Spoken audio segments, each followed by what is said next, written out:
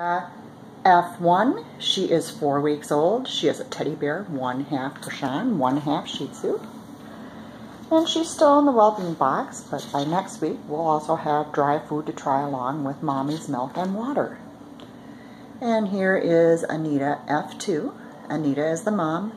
F stands for female, and the number stands for who the puppy is in this litter. You might want to stop and pause on this. This is basically going over pages 42 through 50 in the ebook. We don't care what brand name you use, we care about ingredients. We also like to use different kinds of protein so they don't develop allergies and also keeps them healthier. So when you do switch to another food, mix it for at least a minimum of three days, 50-50.